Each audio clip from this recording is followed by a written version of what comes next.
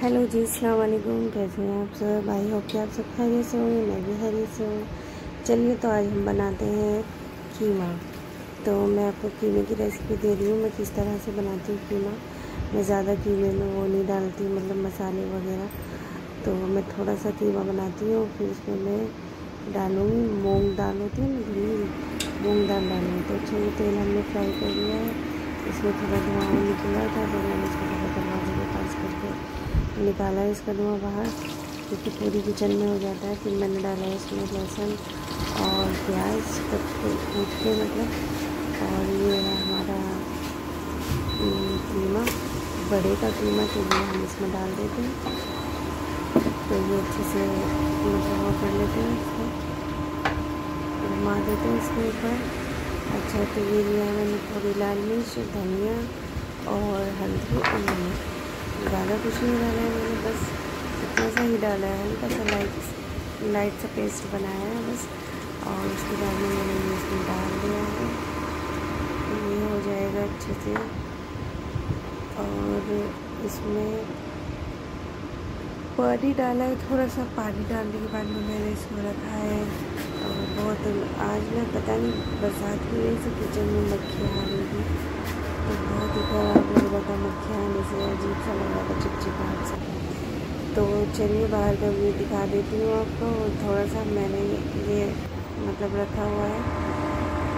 Garden type कुछ बना रखे हैं, पौधे रख रखे हैं काफ़ी सारे। चलिए वापस आते हैं किचन में, देखते हैं हमारा कीमा भून चुका है पूरी तरह से। तो ये लीजिए, हमारा कीमा भून गया है।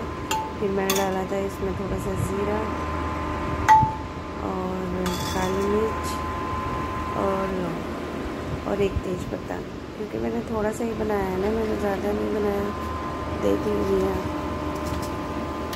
कीमे के हिसाब से ही मैंने इसमें ये गरम मसाले ऐड किए हैं और धनिया, हल्दी मिर्च, पाउडर, ये सब मतलब बहुत ही कीमे के हिसाब से मैंने किया है गया है। एकदम फ़र्स्ट क्लास बहुत अच्छे से इसका कलर आया है, बहुत अच्छे से बन चुका है।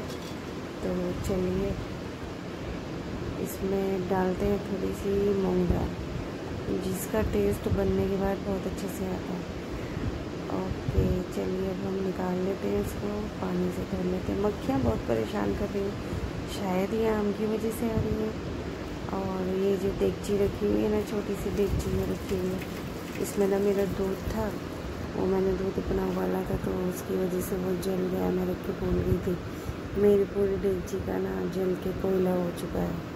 चलिए तो आटा भी गून के तैयार कर लिया, मैंने रख देती हूँ इसको फ्रिज में थोड़ा सा, और अच्छे से हो जाएगा। थोड़ी देर के बाद बनाती क्योंकि आटा गूँध के ना आधा घंटा अगर इसको रख दिया जाए तो मतलब बहुत अच्छे से बनता है खाना। रोटियाँ बहुत अच्छी आती है सॉफ्ट आती है एकदम। बहुत अच्छी आती है। चलिए तो मैंने इसको रख दिया है फ्रिज में और पंद्रह मिनट के बाद हम इसको निकालते हैं। चलिए तो आम खाते हैं। मैं आम निकाल के लाती हूँ। आई होप कि आपको मेरी वीडियो